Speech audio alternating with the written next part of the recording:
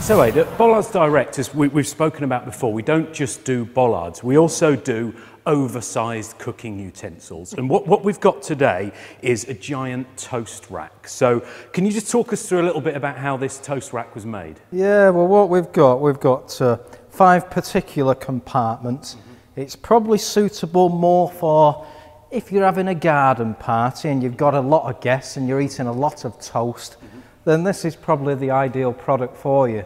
Presumably, this would be you know, for giant loaves of bread and giant toasters. Yeah. Um, you, you, couldn't use a normal loaf on this particular no, product, you'd want, you? would want at least a Warburton yeah. or something along uh, those qu lines. Quite a you? big loaf, wouldn't yeah. you, to get in there? So it's made out of galvanised steel, yeah, is that correct? it is. Do we do this in, in any other options?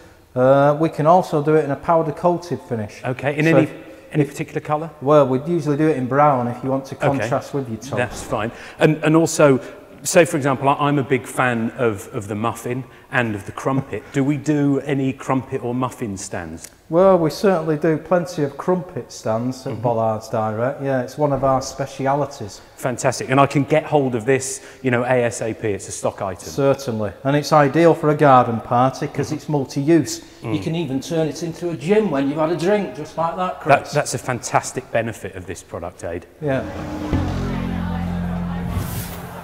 This is our Rhino heavy duty galvanised hoop barrier.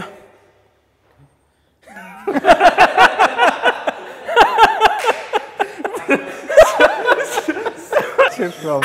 Should we try that?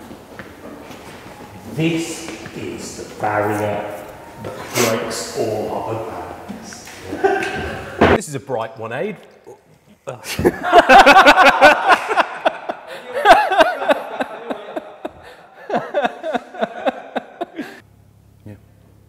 Ade. Hey, this is an exceptionally ugly product.